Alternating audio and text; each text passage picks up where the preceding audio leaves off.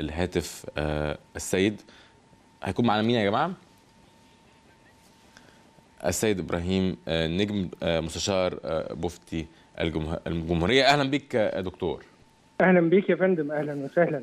دكتور إبراهيم يعني عايزين نتوقف معاك عند التقرير الثامن والعشرين ومفهوم دعشنة المشهد المصري. يعني ماذا كانت تقصد دار الإفتاء بفكرة دعشنة المشهد المصري؟ ومن يقف وراء محاولات هذه الدعشنة هل الإخوان المسلمين فقط بحسب ما جاء في التقرير ولا هناك جهات أخرى كمان؟ اولا بسم الله الرحمن الرحيم الحمد لله والصلاة والسلام على رسول الله سيدنا ونبينا محمد بن عبد الله. هو بداية هذا هو التقرير زي ما حضرتك تفضلت آه، آه، الثامن والعشرون آه، اللي أعدوا مرصد التكفير بدار الإفتاء المصرية ومرصد التكفير هو مبادرة مهمة جاءت في وقتها آه، منذ عام ونصف لكشف وفتح البنية الأيديولوجية للجماعات التكفيرية والإرهابية والمتطرفة. هذا المرصد عمله هو رقم واحد الرصد.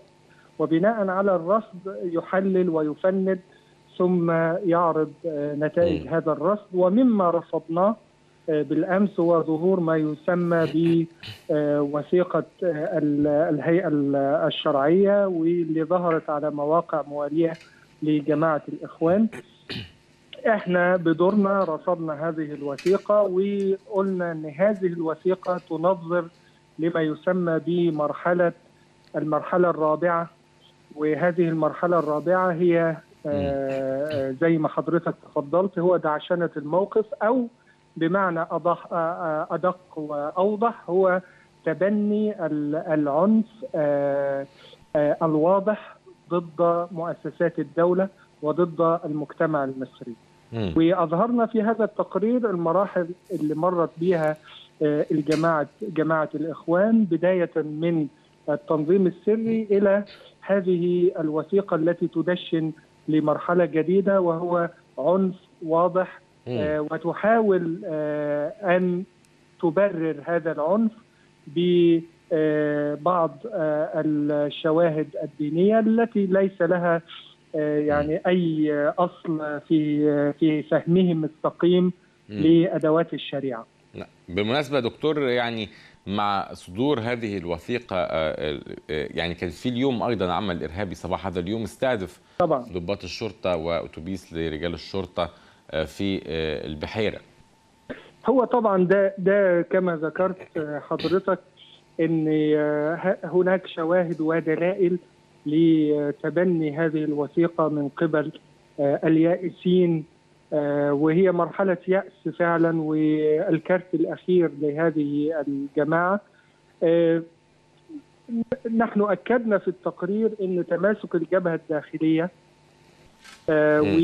والتكاتف ما بين قوى الشعب المختلفة آه، أدى إلى آه، ظهور هذا الكارت الأخير من آه، هذه الجماعة.